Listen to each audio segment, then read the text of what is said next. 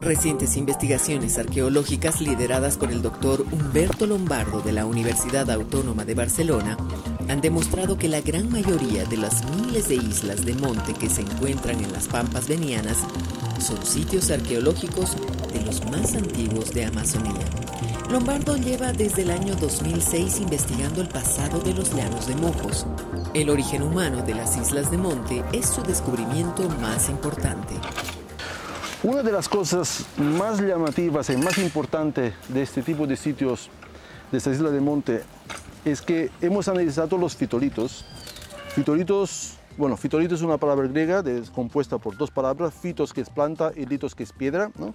Entonces, fitolitos son estas piedras que en realidad son concreciones de, de sílica, ¿no? es un vidrio natural que se forma dentro de las células o en los espacios intercelulares y según qué planta lo produce, tiene una forma peculiar. Entonces, extrayendo los fitolitos y mirando al microscopio, podemos saber qué plantas esta gente utilizaba. Y aquí en de Mogos hemos encontrado evidencia de yuca y de calabaza hace 10.300 años y también hemos encontrado fitolitos de maíz hace 7.000 años. Y es interesante que el de maíz lo hemos fechado en 7.000 años antes del presente. Y esto nos dice que ya hace 7.000 años había actividad agrícola desde México hasta la Amazonia. Aquí estamos en el sudoeste de, la Amazonia y una planta de maíz semidomesticado ¿no? fue, digamos, pasada de campesino en campesino, o bueno, de recolector, cazador, agricultor a cazador, agricultor, hasta llegar a la, a la Amazonía hace 7.000 años. Analizando unos microfósiles de plantas llamados fitolitos, Humberto Lombardo y su equipo han demostrado que los llanos de Mojos son uno de los centros de domesticación de plantas más antiguos del mundo. Como siempre pasa en la ciencia, cada descubrimiento viene acompañado por nuevas preguntas. ¿Cuánta gente vivió en los llanos de Mojos? ¿Cuántos llegaron y desde dónde? cómo cambiaron su cultura, su tecnología y sus usos alimentarios a lo largo de los últimos 10.000 años? Estas son las preguntas que guían la actual investigación de Humberto en las islas de Monte de los Llanos de Mojos. Tal vez escaleras o algo así, porque este... Yo creo que sí, porque esto es bien alto. Es como en las montañas, ¿no? En Europa.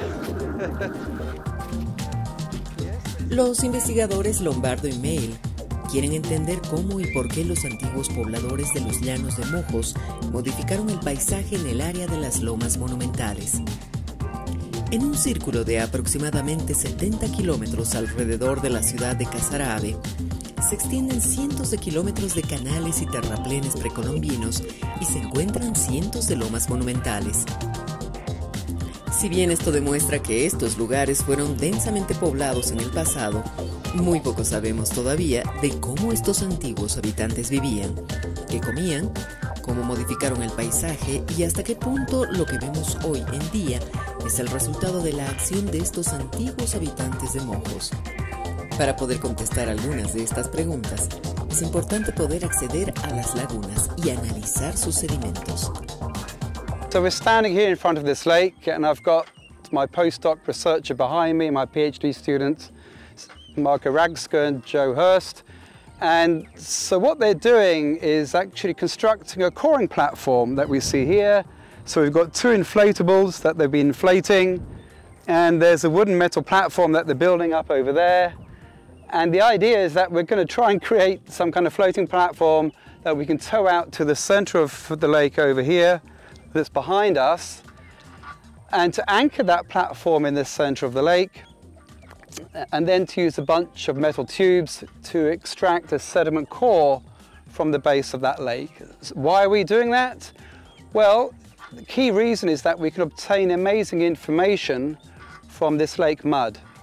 All right, so what I do is to take these long sausages of sediment, it's about a meter long, and we ship them back to my lab um, back in England. We add all sorts of nasty chemicals to this lake mud that allows us to extract fossilized pollen grains. You might ask, okay, that's a very weird thing to be looking at is pollen. Uh, but actually pollen is the key technique that we use for reconstructing the vegetation history of Amazonia going back over many thousands of years into its deep history. And we can think of pollen grains, if you like, as a fingerprint of the plant. Maybe it was a dry forest or savanna. Uh, and we can also recognize the key crops. So we can find pollen of maize, for example, or sweet potato. And this allows us then to reconstruct how the environment has been changing over thousands of years. En el corazón de los llanos de Mojos, alrededor de la ciudad de Casarabe, se encuentran cientos de lomas monumentales que pueden llegar a tener más de 20 metros de altura y más de 20 hectáreas de extensión. Las investigaciones arqueológicas que se han llevado a cabo hasta el momento indican que en esta región de los llanos de Mojos se desarrolló la civilización más compleja de toda la Amazonía precolombina. Todo esto es parte de la plataforma, ¿no? que está a unos 3, 4 metros por arriba del nivel natural, digamos, de la topografía natural.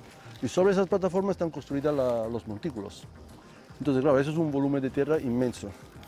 Sí, entonces tal vez la gente estaba viviendo acá em, con sus casas y sus familias y usaban esos montículos aquí arriba por unas ceremonias rituales o algo así. Probablemente. Es una idea. Um, bueno, las excavaciones arqueológicas del grupo de Jaico sí. apuntan un poco a esto porque, si no acuerdo mal, en las zonas de las pirámides más altas donde se encuentran las cerámicas más pequeñitas, que probablemente no eran de uso para comer, ¿no? porque son muy pequeñas, con mucho dibujo, mucha decoración, y quizá eran para pociones o para rituales, para beber alcohol, chicha. Ah, sí. Y esas se encuentran más en los montículos, entonces es posible que sí que tuviera una función. Eh, mientras que aquí en las plataformas y bueno, en sitios donde había más gente habitando se encuentran piezas como esta, ¿no? ralladores, que se utilizaban para desgranar maíz y para moler yuca. Y eso tenemos evidencia arqueológica porque las análisis que se han hecho de granos de almidones y de pitolitos muestran que se utilizaban para yuca sí, y para desgranar maíz. Y esto es muy útil porque es la evidencia directa lo que estaban comiendo. Exacto. No es tan diferente que el equipo que usamos en la cocina ahora. Sí, ¿no? Para desarrollar ¿Cómo